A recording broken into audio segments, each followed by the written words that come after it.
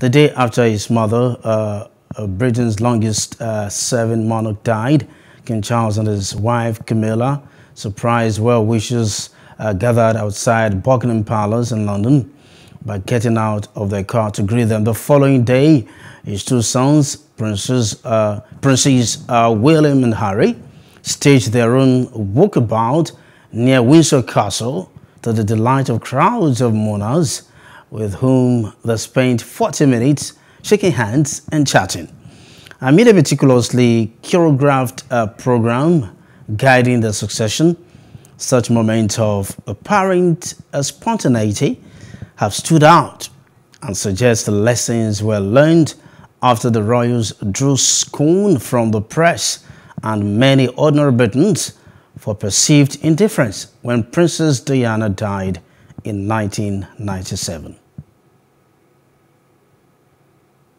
been many, many years in the planning. Um, by Monday, we'll have over 10,000 officers deployed.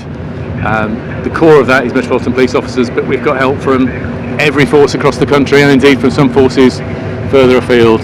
Many of the officers will be visible, but there's all sorts of specialists behind the scenes supporting that. And His Majesty the King today met many of them on his on his visit to our um, control centre and the effect on the staff was immense. So as I say, it's been, been north of 10,000 and just to give a sense of scale.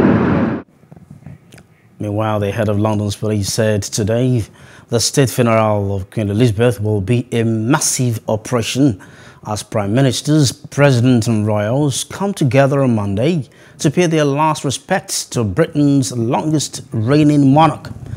The Queen's funeral is expected to attract hundreds of thousands of people to London streets, echoing other important events in Britain's history, including her coronation in 1953, the funeral of former Prime Minister Winston Churchill in 1965, and the death of Princess Diana in 1997.